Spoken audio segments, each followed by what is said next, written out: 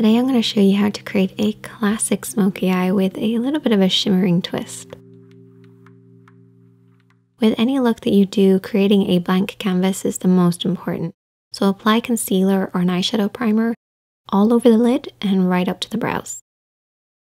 Then taking a blending brush and a shadow that is very similar to your own skin tone that pretty much matches it, you want to apply this from the crease up to the brow bone.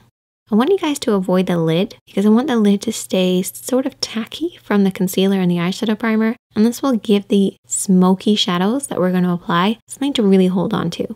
But by applying this base from the crease up towards the brows, we create a soft, powdery, silky texture for us to blend over. Taking our mid-tone shade or a transition shade, you can even use your bronzer, you want to blend this over and back in the crease area. So going over everything that we've already applied with our base shade, but not blending it up too high. Blending the depth of the color from the crease, fading upwards.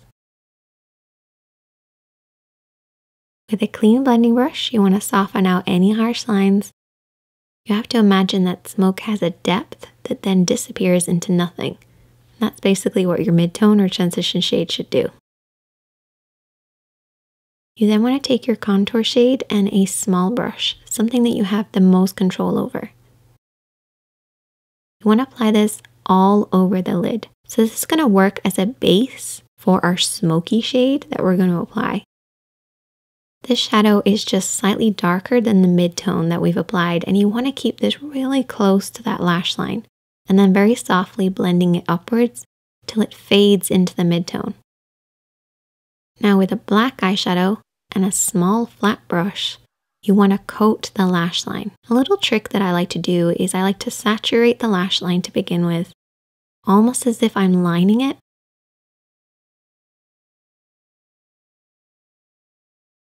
And then I want to take my fingertips and press over the top to press that pigment in. And then I take my small blending brush and just soften over the top of the black blurring and smudging and blending this upwards. And I typically only blend my black eyeshadow about the halfway point of the lid, and then that should slowly fade into the contour and the midtone.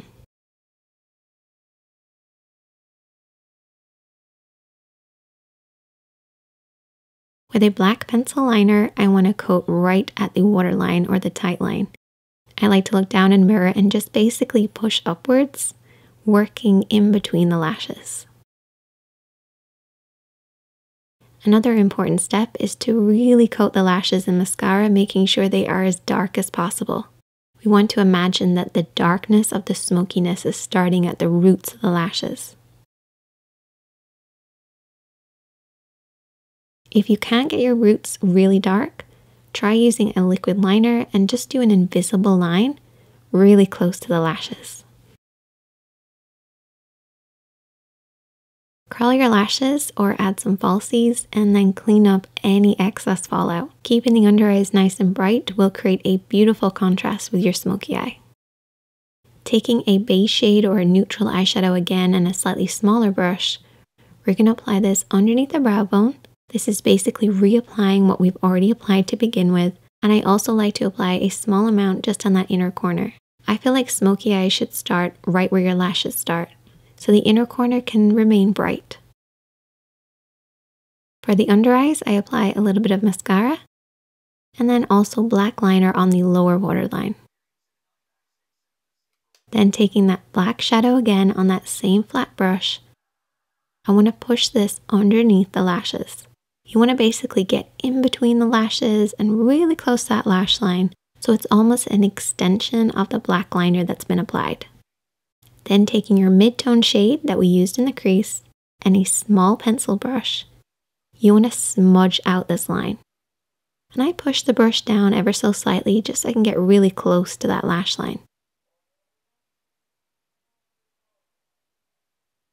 Taking a little bit of silver on a flat brush, I want to apply this on that inner corner and ever so slightly underneath the arch the brow too, just to add a bit of shine. And with that dark shimmering mushroom shade, I'm going to use my fingertips to press over the top of the smoky eye. So focus mostly on the lower part of the lid, pressing this over the top of the black. And I use my fingertips because I prefer it over using a brush. I find you get that silky effect so much better with your fingertips. Then I like to take my blush shade on a blending brush and I just like to go around the edges of what I've already applied. This is what I refer to as a fade shade and it basically creates a slightly different tone in the crease of the eye and also can be used under the eye too. And then just use that on your cheeks and get a matching lipstick and that just brings the entire look together. I hope you guys enjoyed this look. If you recreate this smoky eye, I would love to see it. You can tag me, it's at Katie. If you learned something, hit that like button. If you're new here, hit that subscribe button. Check out the other videos on the screen, and I am always here to help. So if you have any problems, definitely let me know in the comment section, and I'll see you in the next one.